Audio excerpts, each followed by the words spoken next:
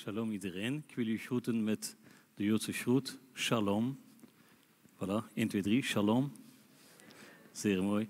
En als het koud buiten is, dan kunt u shalom doen. Shalom.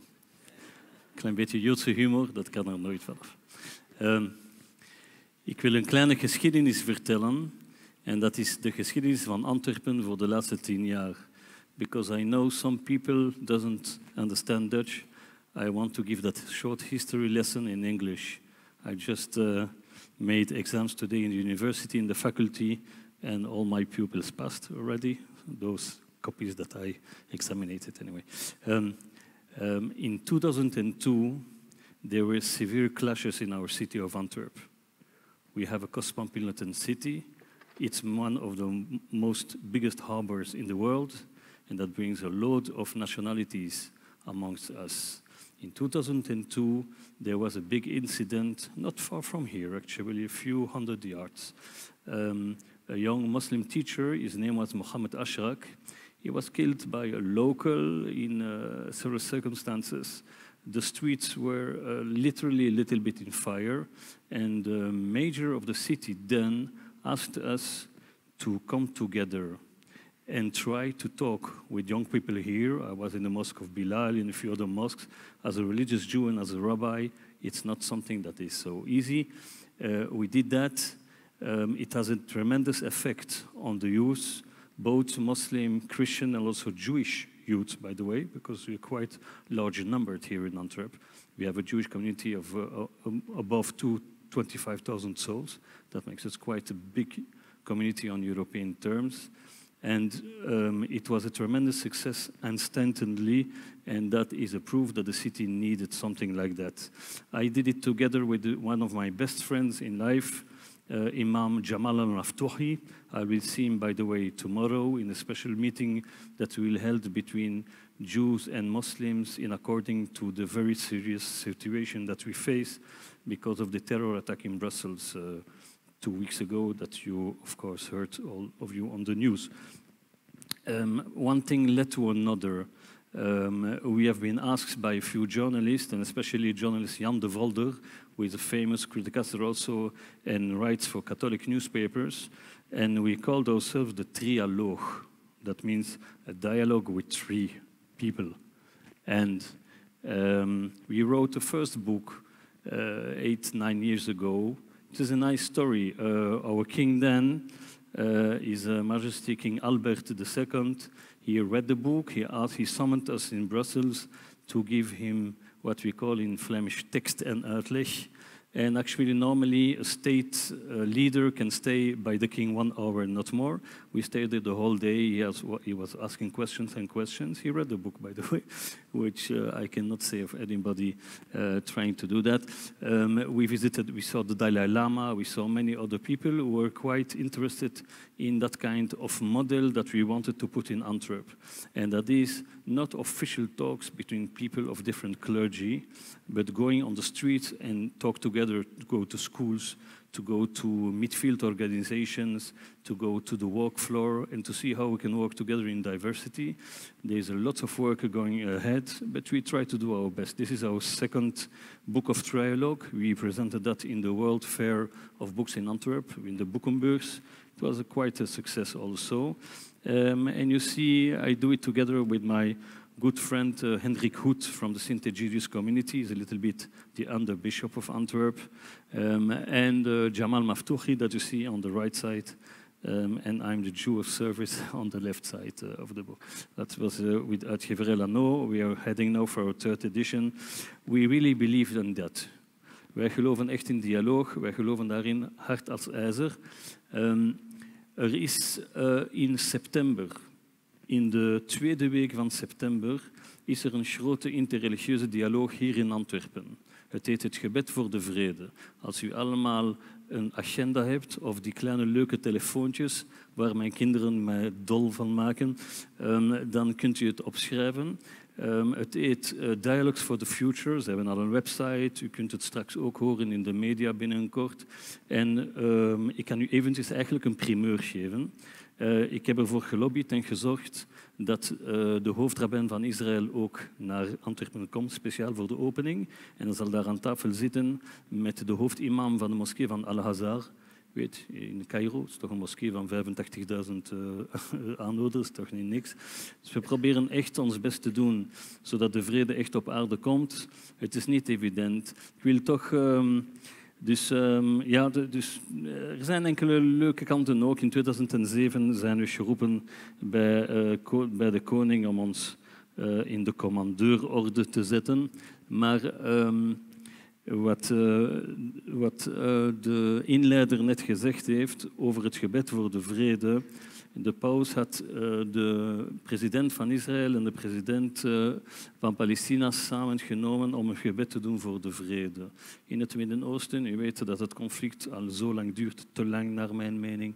Um, en het is uiteraard een symbolisch gebaar. Hier zijn we met een zeer goede vriend van mij, inspecteur islamitische godsdienst Ahmed Azouz, met wie ik uh, trouwens ook heel veel um, educatieve projecten samen doe. Nu, het klinkt allemaal naïef en het is moeilijk in West-Europa om samen te leven in de grote steden. Wij weten dat. In Parijs bijvoorbeeld, daar moet je ook televisie voor aandoen. Het is ook niet zo ver weg. We weten ook wat de verkiezingsuitslag was daar. We weten ook dat heel Europa aan het verrechten is. Heel Europa, heel de wereld. Iedereen is ook op privébasis aan het cocoonen. Ook onze jeugd zit daar allemaal met neus oren en ogen op een klein schermpje. Uh, hoe zeggen ze zo mooi in Antwerpen? Ikke, ikke en de rest kan stikken. En wij leven in een wereld die niet zo evident is. En dan stel ik mij de vraag, is dat de wereld die wij willen achterlaten aan onze kinderen? Waarbij zelfs op individueel vlak je niet eens kijkt naar de ogen van de anderen, ik ben een gelovige Jood, ik geloof in de Torah, in de Bijbel, ik geloof in de Talmud. En de wijzen geven ons een antidotum, een soort van medicijn. En de medicijn is herbranding, ga terug van jezelf.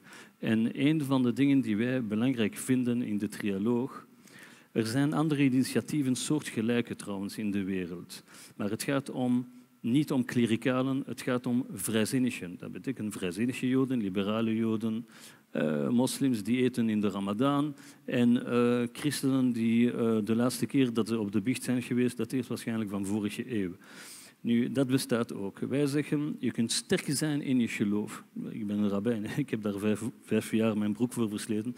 Je, je bent sterk in je geloof en vanuit die sterkte en dat geloof in je geloof kun je komen tot uh, dialoog met de anderen, tot hele lange discussies. Want voor dat boek van Trialoog, wij hebben, ja, het is ongeveer een, compendium van zo'n 15 uur, maar we hebben wel zo'n 200 uur samen, samen gezeten.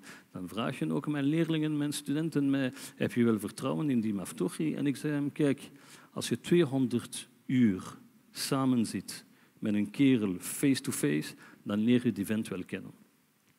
En dat is het geheim. Dat is zich openstellen voor de anderen. Je bent vulnerabel, maar je bent sterk op dezelfde plaats, omdat je weet dat de tegenpartij dat ook is. Wij hadden een paar um, interessante en leuke zaken, een beetje meer ludiek. Een van de uh, leuke uh, evenementen die we hebben georganiseerd, dat is Varen voor Vrede.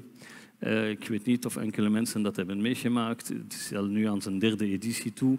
We hebben het Masmuseum daarmee geopend. We gingen in een, leuk, uh, in een leuke kano. De bedoeling was om een kano van vijf mensen te organiseren met een jonge moslim, een jonge jood, een jonge um, christene, een jonge vrijzinnige.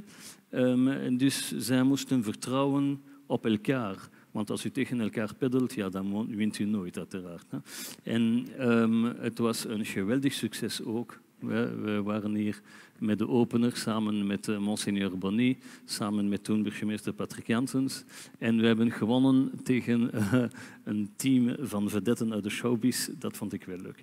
Um, nu, uh, u weet, samenleven in de 21ste eeuw, Jean-Paul Sartre zei het ook, le 21e siècle est un siècle de religion où il n'est plus. Wij leven in een gecompliceerde wereld. U opent het nieuws op bladzijde 2. Wat staat er ons weer eens te wachten. Het is gewoon huilen met de pet of, of met de kippa in mijn geval. En iedereen zegt mij, ja, ik, ik had een interessante discussie. Iemand uh, van een VZW van, van, van de, ik denk van de Maghrebijnse jeugd met betrekking tot voetbal, want het is een beetje een hobby van mij. Iedereen heeft een zes, is een péché mignon. En, uh, en hij vroeg, ja, ja, je hebt toch Joodse wijsheid, kun je hier geen zaken regelen? Dan zeg ik hem, jonge man, met mijn Joodse wijsheid, zoals je zegt, zou ik liever de zaken regelen ook bij mijn eigen achterban. Iedereen moet voor zijn tapijt kuisen. En hier in Antwerpen is er nog heel veel werk voor de boeg. Maar u moet weten, voor elk slecht nieuws is er ook heel veel goed nieuws. We moeten kijken naar het glas dat half gevuld is en niet het glas dat half leeg is. Er zijn heel veel jongeren die positief zijn. Ik heb hier een paar sprekers gehoord, onder meer die laatste, uh, die Somali daar, die het had over de urban en de, en de zaak van kleine bedrijfjes eh, maken. Wij zijn godzijdank in Antwerpen niet in die situatie waarbij we honger lijden. Dat zeg ik ook aan mijn kinderen. Kijk, mijn grootmoeder was in de holocaust. Voor een ei, dat was voor haar zoals mij vandaag een Rolls Royce of zoiets. Dat had ze twee jaar niet gezien, zo'n ding. Uh, een aardappel. Weet, we openen nu onze frigo en we hebben daar brood, kaas en eieren. Ik weet niet of u dat verstaat, maar zij hebben mij uitgelegd in mijn familie wat het honger betekent. Dat elke vezel in uw lichaam. De huidige jeugd kan dat maar moeilijk snappen. Nu, jullie zijn allemaal een beetje zoals mij, een beetje enkele dertigers, veertigers, vijftigers. We hebben een missie. En die missie is, God heeft ons hier gezegd om met de jongeren te spreken en hen te tonen dat we kunnen samenleven. En omdat ik precies hier tien seconden over heb, wil ik eindigen met een credo waar ik echt, waar ik echt in geloof, harder dan staal. En dat is, wat ons bindt, is groter dan wat ons scheidt. Amen.